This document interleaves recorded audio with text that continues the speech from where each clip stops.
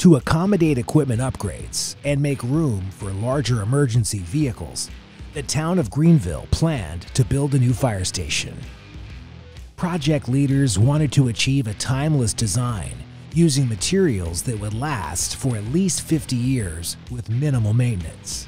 County Materials worked with the project's architect to value engineer the design. Ultimately, a combination of clay brick and decorative concrete masonry units were selected. County Materials manufactured and delivered more than 2,300 square feet of reflection stone masonry units and supplied almost 10,000 square feet of clay brick from a trusted supply partner, demonstrating design flexibility and providing a reliable solution. The two types of masonry units met the project's needs. The stunning new facility will serve the town of Greenville for decades.